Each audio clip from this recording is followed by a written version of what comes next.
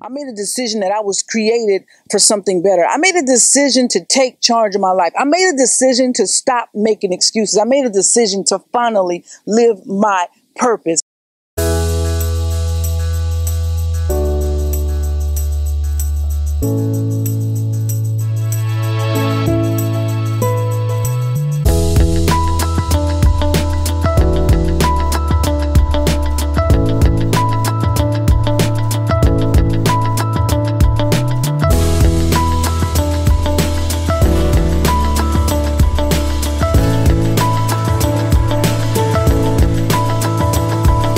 This is Sue-Ham, baby.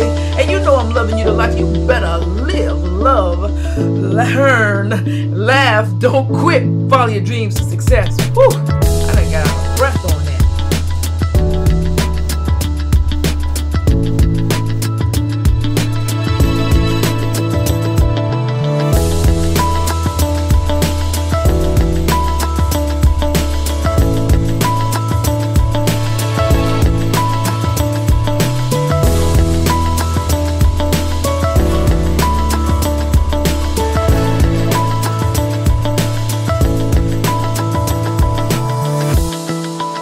What causes us to stop?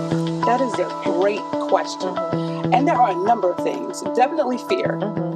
Definitely self imposed limitations. If we saw ourselves the way God Girl, saw us, I tell you. we would go through life fearless. Mhm. You know what I'm saying? And that's how we're supposed to go through life because we can do all, All things. things, yes. And once I began to understand that, it was like, woo. But back to the question, Mm-hmm. you know, fear, self imposed limitations, doubt, lack of finances, mhm. and uh, just low self esteem happen to be the common characteristics that keep us from exceeding. You know, one of the greatest things that you can do is stand in your greatness and continuously create a life of service, love, and to live in your purpose. At the core of it all, you, my friend, are a builder. I want to help you to build. That's why I've dedicated my life to helping you to live, love, learn, and laugh. And today, class is in. We're going to build. It's your life. It, it's really your life. Man, you get to decide. You call the shots. Either you're going to build or you're going to destroy.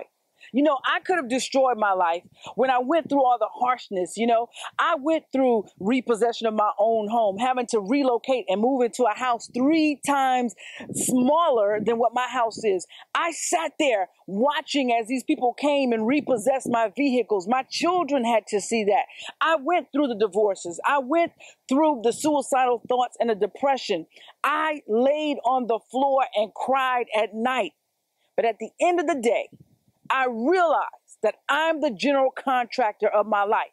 And in order for things to get better, I had to get better. I had to take charge.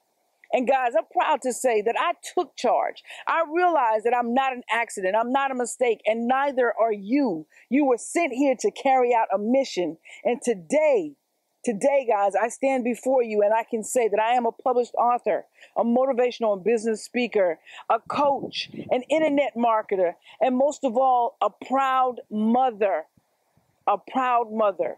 So if you're watching this video, what I want to say to you is you can do this. You can get up from depression. You can get up from that valley. You can grow and go and do the things that you were created to do. No excuses. No excuses. And I, I exist, guys, to help you live, love, learn, and laugh. I want you to know that you are the general contractor of your life. So what are you going to do? Are you going to build or are you going to destroy?